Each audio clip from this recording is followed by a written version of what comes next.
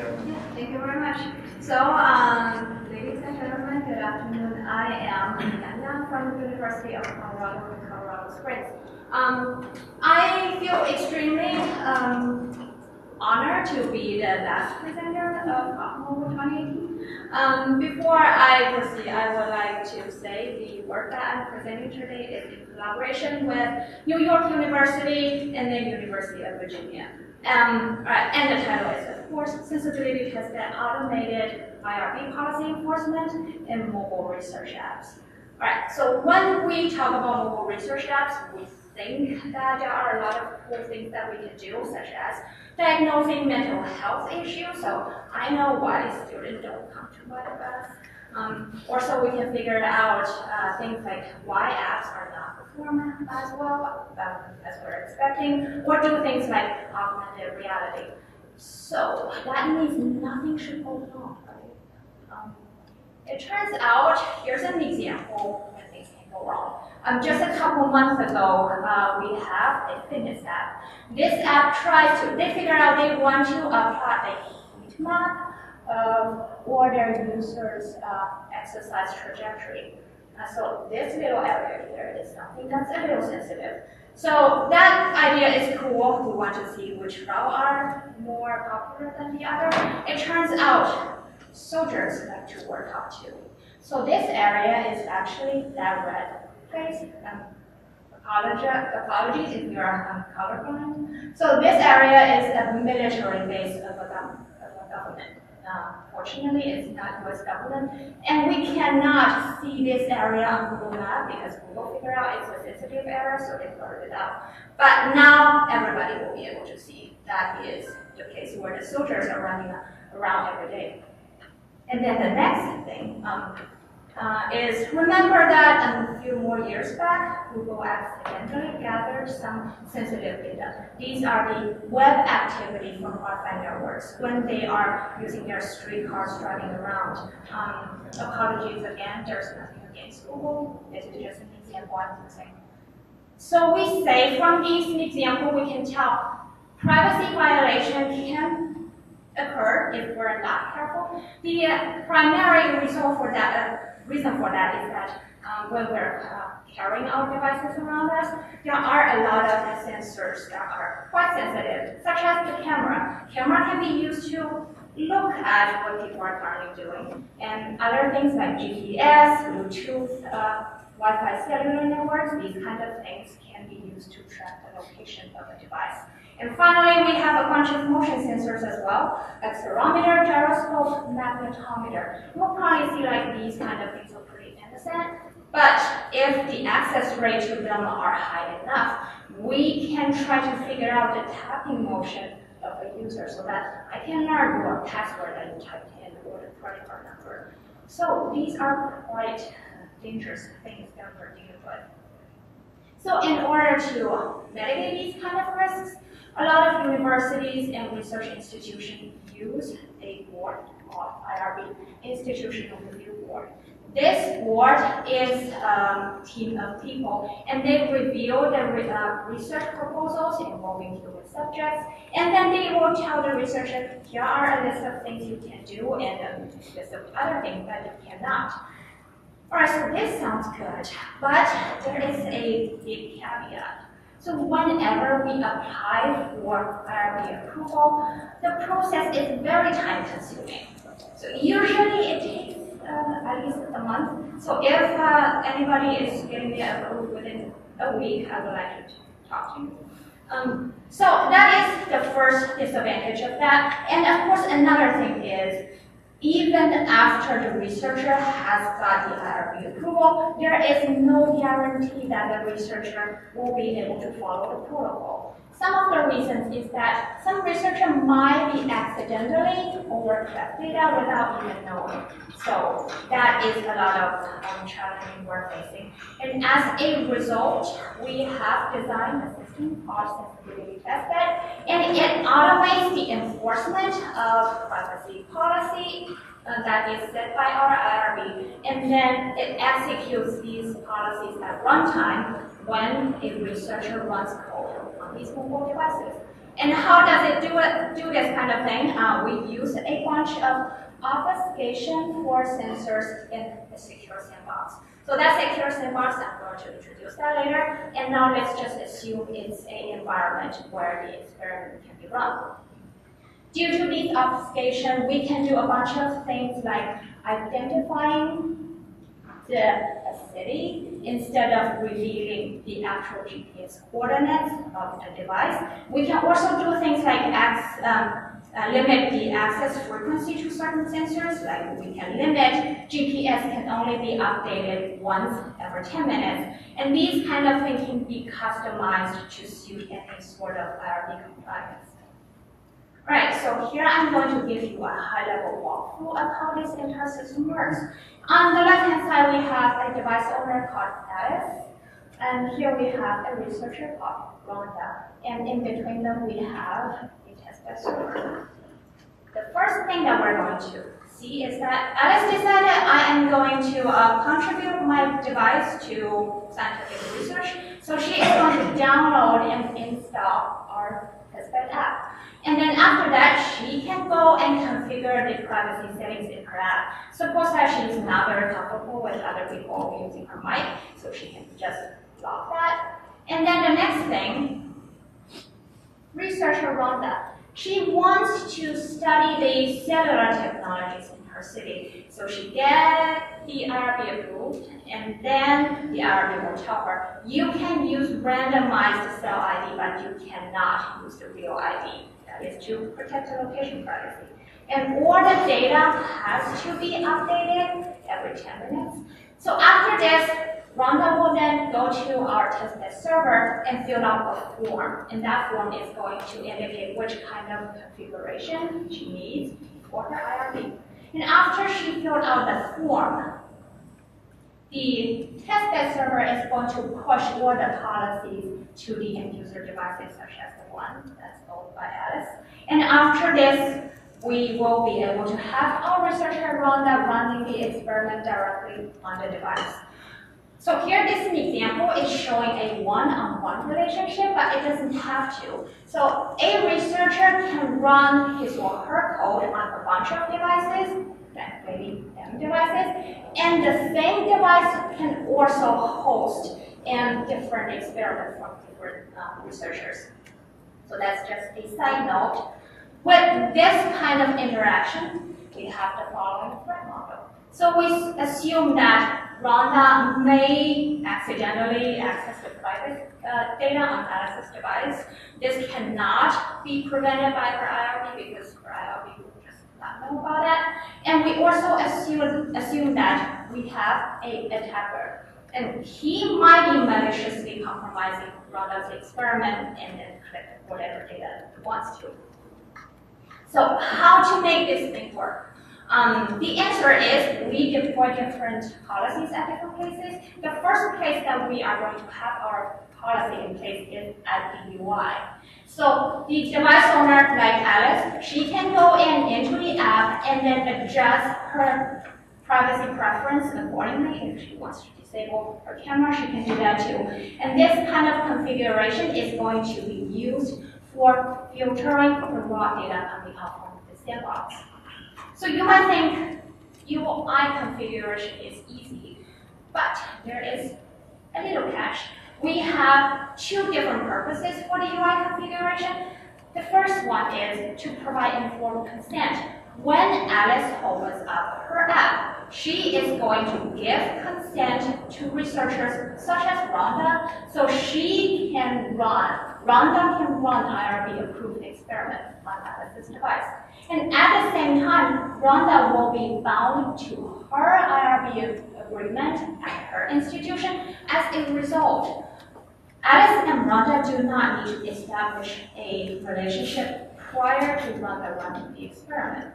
So that's the first thing. And then the second thing is, of course, as I mentioned earlier, uh, Alice can configure her policies uh, according to her preference. So she can opt out of individual experiments if she doesn't like any of them. She can also stop all of them at once.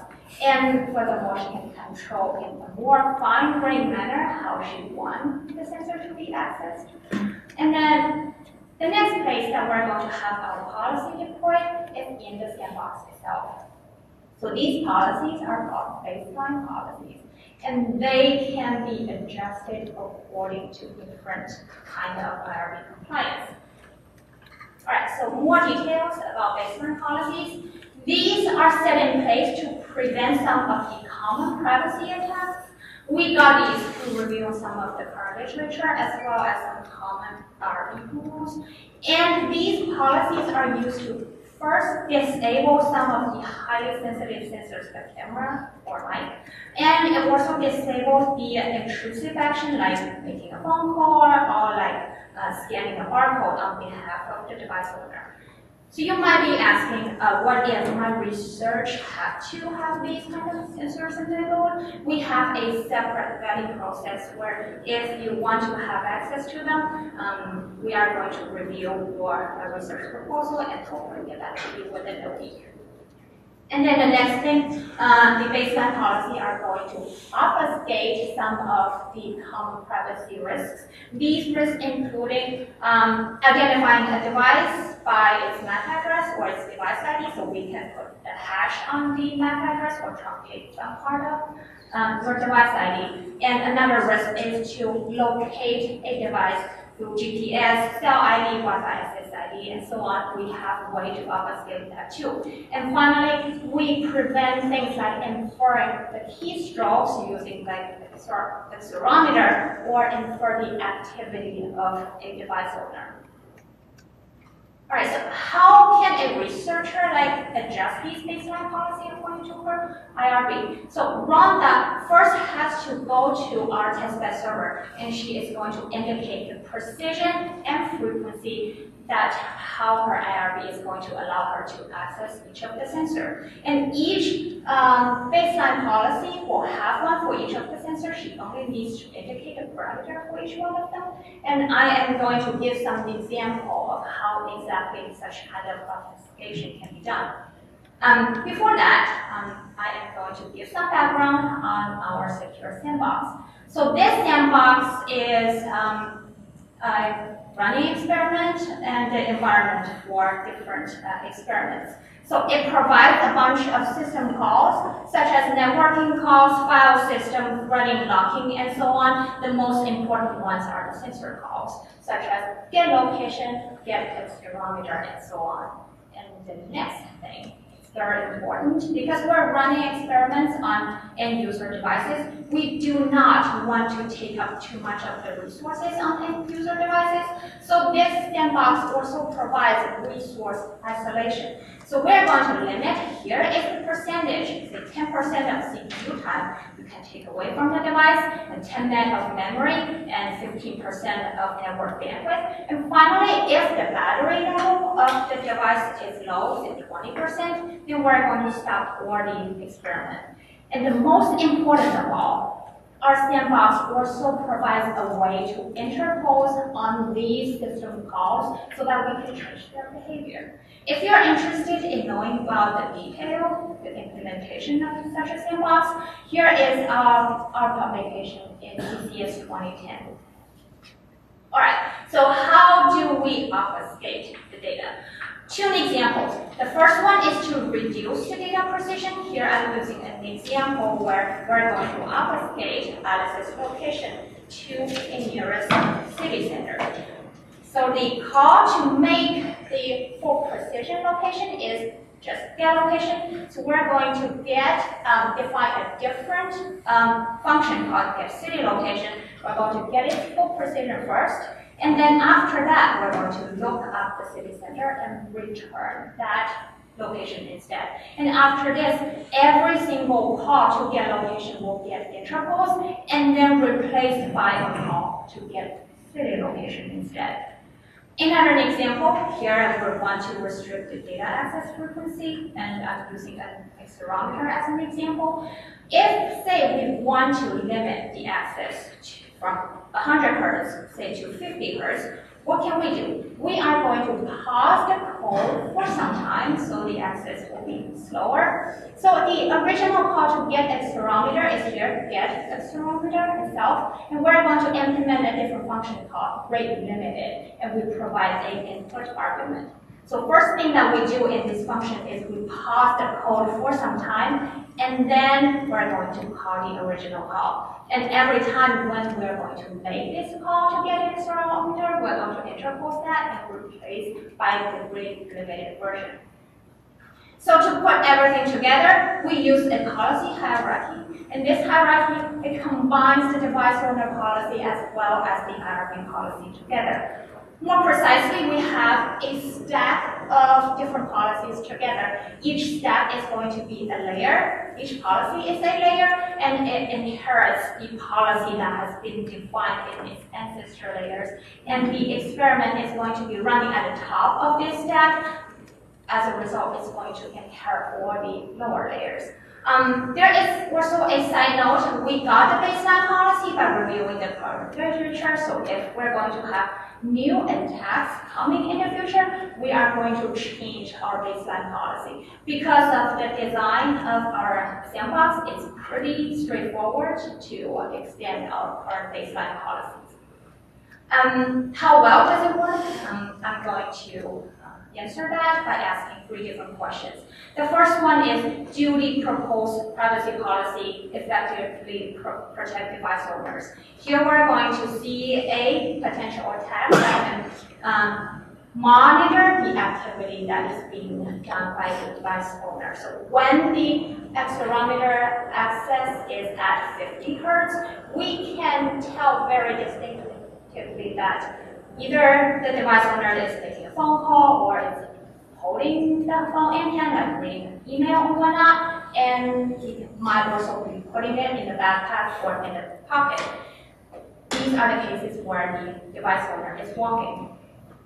So in order to figure out how to combat this task, we subsample the accelerometer data from 10 to 50 hertz. So in this diagram, I'm showing the classification accuracy. And we can tell there is a sharp decline in the tracking accuracy when the access rate is about 25 hertz. So as a result, if we can limit the access rate to be 25 hertz or lower, then this kind of attack will never occur. So that is one case um, where we can prevent this attack. And the second question comes naturally. So if we limit the precision or the accuracy or the uh, access rate to these sensors, what utility can these restricted data provide? So in the previous example, from our experience, we can tell that the rate limited data suffices for many other applications. In the case of the activity monitoring, the accelerometer data when it's reduced to 25 hertz, it can still be used for pedometry because we will be able to see the peaks and the low, but we won't be able to infer the activity that's specific to the user. And in the second case, um, a couple years ago, we had a high school student. Um, he did a project using sensibility test where the GPS location has been restricted to a zip code area. And this student connected his device to a OBD sensor in his car, and he captured the information such as fuel consumption, pressure, mileage, and engine RPM. And although the location is restricted to a zip code area, he was able to make inferences about traffic conditions. So while it's an open question whether obfuscating policies may affect the accuracy of many experiments, we are planning to carry out more studies like this to investigate further about the privacy and functionality trade-off. And the final question that we're going to ask is, is sensibility UCG use. So in the past years, um, we hosted some hackathons co-loaded with the IEEE conference called SAS, and the majority participants of this um, conference, they are not coming from the background of computer science. Um, we let these participants spend about half a day learning about how to use this particular platform, and then let them start writing code and ask for different purposes. And to our surprise, many of these researchers were able to build interesting and complex applications including navigating between conference rooms using some information coming from the Wi-Fi connection, or monitoring battery and uh, turning off Wi-Fi or Bluetooth when the battery level is really low. So these are some pictures coming from the hackathon. Um, this guy um, gave me the consent to use his face in this guy, and he is also one of the co-authors of this paper. Um, and finally, I would like to conclude with some challenges that we're still facing, and we haven't resolved these challenges yet. The first one is related to accessing personal data. We currently deliberately disallow access to personal data stored on the phone, such as your phone book, and we also disallow the introspection into the mobile OS. The way that we want to do this is to make it easy for people to use. Um, but we haven't investigated the approaches that is like querying a database using privacy preserving techniques like um, differential privacy or k-anonymity, and these kind of things are worth looking into. And the second challenge is that because we cannot predict what kind of attack will emerge in the future, we need to update our baseline policy and also upgrade our platform accordingly. And finally, usability. Because currently we give some control to our um, device owners and how much control can we give them is still a open question. And we are planning on doing some user study to figure out how, how much control we should exactly give to the users. So um, with that, um, I'm finishing and concluding my presentation, and I'm ready to take